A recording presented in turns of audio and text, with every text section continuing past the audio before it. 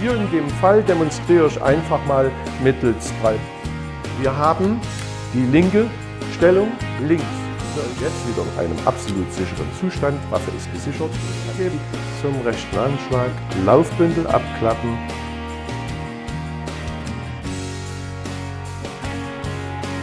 Vom Abzug an drei Punkte des hinteren Schaftes, unten, Mitte, oben.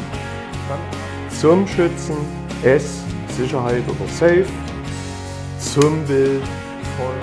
Der hintere Abzug, immer der linke Schrotlauf. Der vordere Abzug, immer der rechte. Optische Einrichtung, das ist eine Sula Einhakmontage im Wege. ist die Waffe wieder komplettiert, aber ich möchte gerne noch Sicherheit herstellen.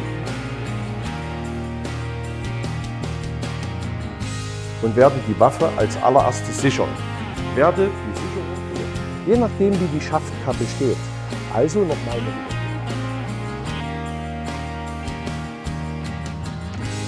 Made in USA, Smith Wesson,